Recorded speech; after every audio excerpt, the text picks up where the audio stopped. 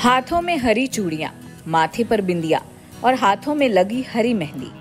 सावन के महीने में महिलाएँ काफ़ी खुश दिखती हैं, खास तौर पर सुहागन महिलाएँ। और भला खुश भी क्यों ना हो? इस महीने में सभी महिलाओं को सोलह श्रृंगार करने का पूरा मौका जो मिलता है।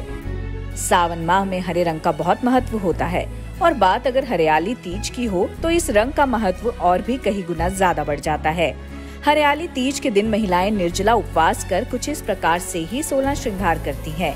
इसके साथ ही सुहागन स्त्रियाँ अपनी पति की दीर्घायु, तरक्की और सेहतमंद ज़िंदगी की कामना करती हैं। इस साल हरियाली तीज का पर्व 31 जुलाई 2022 को मनाया जाएगा इस दिन सुहागन महिलाएँ अपने पति की लंबी उम्र के लिए व्रत रखती हैं और खूब सजती समरती हैं वहीं कुंवारी कन्याएँ भी अपने मनचाहे वर की प्राप्ति की कामना के लिए भी हरियाली तीज का व्रत रखती हैं। इसे हरियाली तीज या श्रावणी तीज भी कहा जाता है। इस दिन महिलाएँ एक दूसरे के हाथों पर मेहंदी भी लगाती हैं, क्योंकि मेहंदी के बिना महिलाओं का श्रृंगार अधूरा माना जाता है। धार्मिक मान्यता है कि हरियाली तीज के दिन ही भगवान शिव और माता पार्वती का मिलन हुआ था। हिंदू पंचांग के अनुसार इस साल हरियाली तीज पर रवि योग का निर्माण हो रहा है। ऐसे में इस योग में पूजा विशेष फलदायी माना जाएगा। रवि योग अमंगल को दूर करके शुभ फल प्रदान करता है। इस योग में महिलाएँ हरियाली तीज व्रत और पूजा करती हैं, तो मनोकामनाएँ पूर्ण होंगी और उत्तम फल की प्राप्ति भी होगी।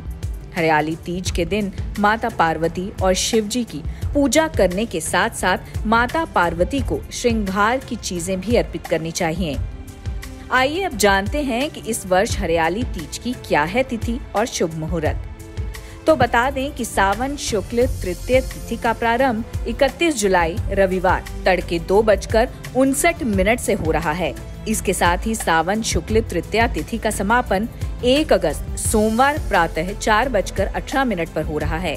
वहीं रवि योग का प्रारंभ 31 जुलाई को दोपहर दो बजकर बीस मिनट से शुरू हो रहा है, जिसका समापन 1 अगस्त को प्रातः पाँच बजकर बयालीस मिनट पर होगा।